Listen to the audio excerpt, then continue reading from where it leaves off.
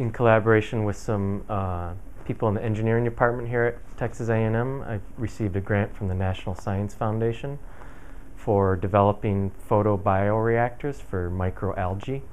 So my role in this grant is to study the algae called Botryococcus braunii. And the interesting thing about this algae is that it is a producer of high amounts of liquid hydrocarbons. And these liquid hydrocarbons can be used to power conventional combustion engines. Mm-hmm. This algae has been known for oh, well over 100 years, um, and it's been known to produce oils for that whole time since it was first discovered.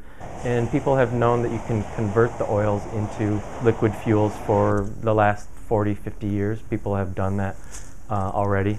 The, the problem with this particular algae is that it is slow growing.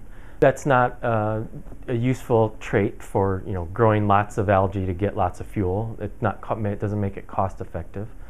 So what we're interested in doing is taking the genetic information out of this slow growing algae for the genetic information for producing these hydrocarbons and transferring that into a faster growing algae.